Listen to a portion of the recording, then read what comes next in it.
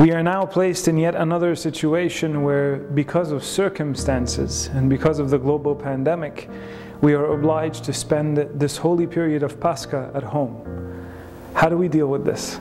How do we benefit from the prayers of the Holy Pascha when we desire so badly to be at church? Is there a way for us to benefit while being at home?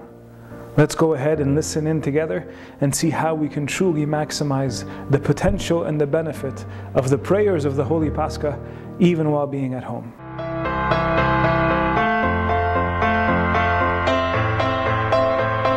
Welcome to Answers from an Apostolic Faith.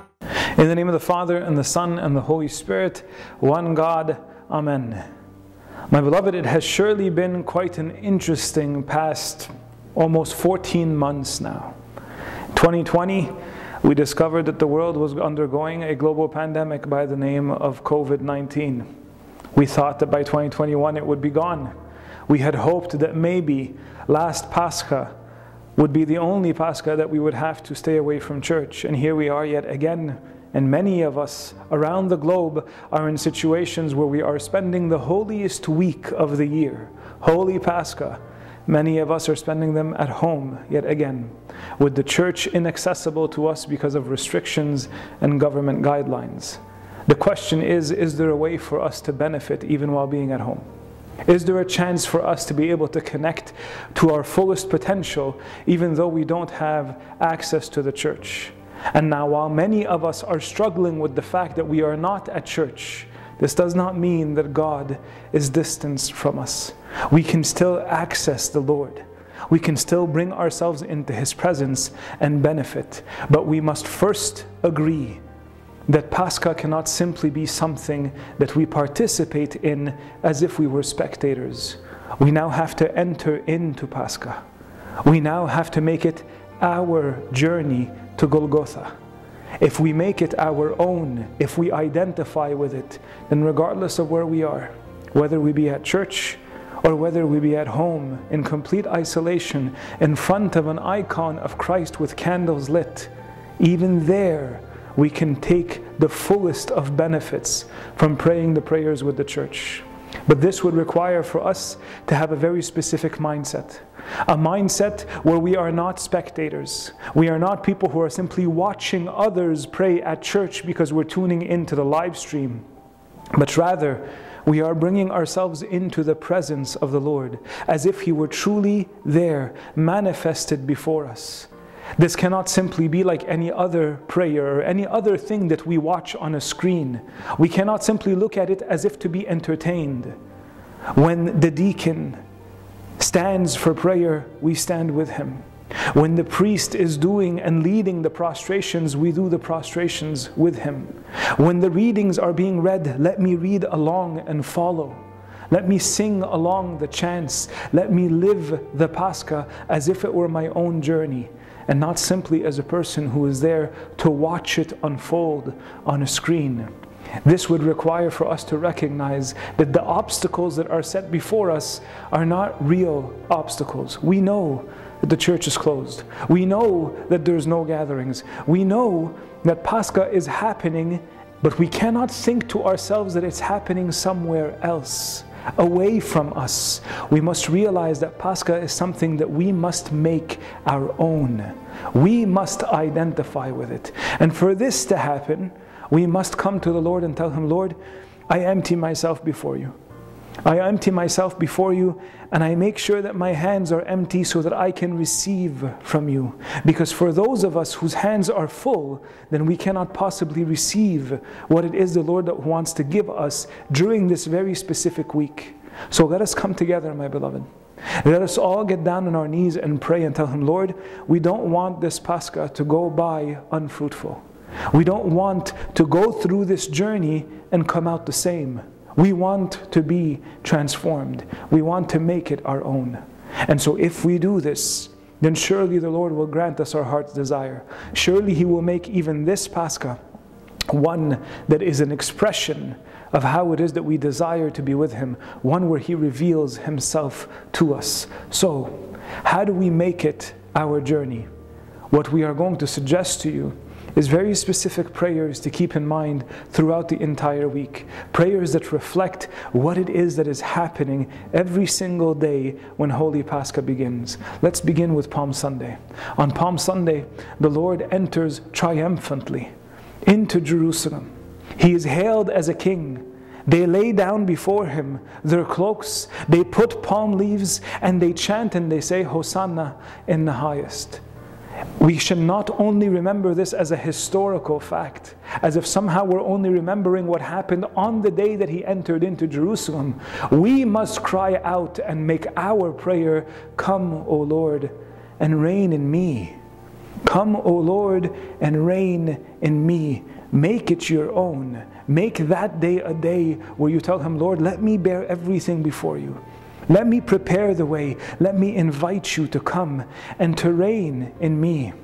We have a person by the name of Methodius of Olympus who says something very beautiful. He says, Instead of our garments, let us spread our hearts before him. Instead of our garments, let us spread our hearts before him. Let us do this. Let us spread open our hearts and tell him, Lord, as you entered into Jerusalem, come also and reign in me. Be king in my life. On Monday of Holy Pascha, when we pay attention to the prayers and the prophecies, we see how it is that the Lord enters into the temple, He cleanses it, and then there are the cursings that happen because of all the hypocrisy that He sees. This is where you and I need to recognize that there is a cleansing that is required. If there is anything within me that needs to be turned over, any demons within me, any demons of lust, of anger, of envy, of greed, of all of those different types of passions, may the Lord fashion his whip and chase them out. May he come within me and search me the same way he searched Jerusalem. May the Lord expel from me any sort of evil and sinful addiction. This is where you and I can now ask the Lord, who we have invited to be king to also come in and to cleanse us from within. And so our prayer becomes Cleanse me, O Lord, from within. Cleanse me, O Lord. This is the request that we have. This is how we make Monday of Holy Pascha our own journey. And as you read through the prayers, as you attend the prophecies, say that prayer so it can become your journey. On Tuesday, we see the Lord who is the teacher the Lord who calls out the hypocrisy, the Lord who reveals the kingdom of God to his people, the Lord who prepares the way for Golgotha, and he tells them about how it is that he will be victorious. And this same Lord who teaches his people, who opens their eyes, who enlightens them, has to also be the Lord who enlightens me. And so now my prayer on that day of Tuesday has to be Come, O Lord, and be my instructor. Be my instructor, O Lord. Enlighten me, open my eyes, teach me, show me yourself, reveal to me your glory. And this is how I can make Tuesday such a blessed day as I read the prophecies, as I attend the prayers, and as I am constantly praying, Come and be my instructor, O Lord. On Wednesday, we see how it is that the Lord is anointed and he is betrayed. Anointed and betrayed. St. John Chrysostom says that this woman who came at the feet of Jesus was someone that we should keep before us as an example. St. John Chrysostom says she brings to Christ that part which is the most honorable member of the whole body, her head. And what does she do? She lays her head at his feet. She lays it right there with her hair, the most glorious part of her members. She places it down at his feet and she worships him. This is where we must also learn from this woman that on that day of Wednesday, rather than participating in betrayal, that I participate in those who have anointed him as king, who have anointed him as Lord, so that we may be able to say, Lord, I lay myself down at your feet, O Lord. This becomes my prayer. I lay myself down at your feet, O Lord. On Thursday, we know that this is a day that is beautiful and jam packed in Holy Pascha. We see how it is that this is the day that the Lord both feeds his disciples his own body and blood, and he washes their feet. The teacher, the great scholar Origen, he comments on this and he says, And this is the goal of the teacher, that he wants to make the disciples like himself. He desires to make them exactly as He is. He wants to renew the image that is within them so that He can see Himself in them. This is the desire that the Lord has for us on this day of Thursday in this journey of Pascha. And so my prayer should be, Lord, make me like you. Make me like you so that when you see me, you see a reflection of yourself. When you look within me, you see a reflection of your only begotten Son, our Lord God and Savior Jesus Christ. And then finally, we arrive to Good Friday, this great and glorious day where our Lord reveals Himself as love incarnate. And what do we see on Golgotha that day? We see love in the flesh. We see the bridegroom who's there, dressed in his robe, ready to receive his bride. We see extreme humility a king who can conquer everything around him, allows himself to die in the flesh for our sakes, and in his extreme humility, he is even willing to be buried and placed in the earth for our sakes. We see the Lord who is high up on a cross where everyone thinks that he is being shamed, but we look at him and we recognize him as the Lord who is victorious the Lord who is king, and that is his throne. And he has accepted the cross as his throne for my sake. It is on that day of Good Friday, during Holy Pascha, that my prayer can be Lord, be my king. Be my king. Come reign and be king in me. We now arrive to Joyous Saturday. And it's on this day of Joyous Saturday that the church remembers how it is that the Lord enters into Hades. And it's by encountering death that he destroys death for our sakes. He shines his divine light in the darkness of Hades. And this is where he frees the captives. This is where he takes his own and he finally grants them the freedom that he has always wanted to give them. And so, our prayer during that entire day of Joyous Saturday as we spend that night of apocalypse at church reading the book of Revelation, lighting those candles, remembering what it is the Lord has done for us, this is where we ask the Lord to come and to destroy the death that is within us. Come and destroy and free me from my death, O Lord. And then finally, we come to that day, that glorious and most joyful day of the Holy Resurrection. This is where we encounter the Lord who is resurrected from the dead. This is where we recognize Him who has conquered death for our sakes. And now that He is risen, we get to rise with Him. This is now the fulfillment of our journey.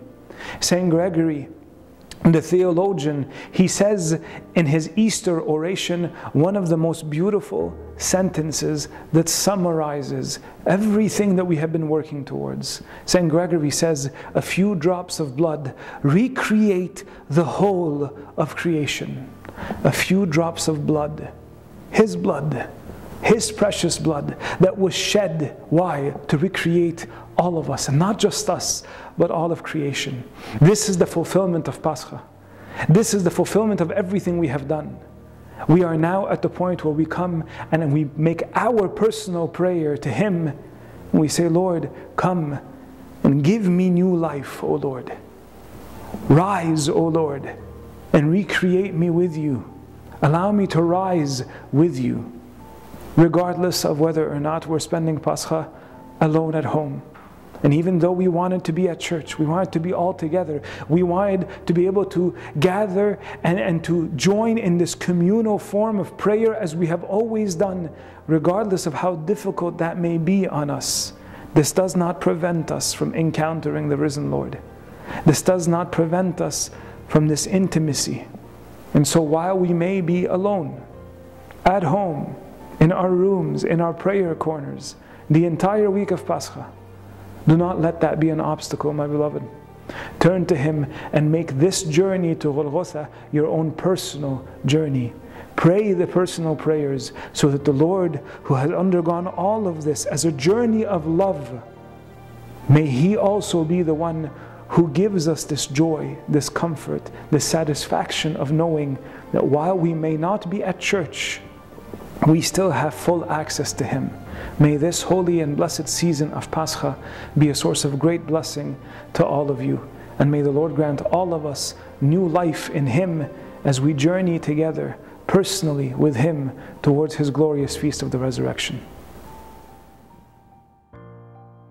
Thank you for watching this video. Don't forget to watch our previous ones by visiting and subscribing to our channel. If you find this content beneficial, share it with your friends. Remember, know your faith, live your faith, and teach your faith.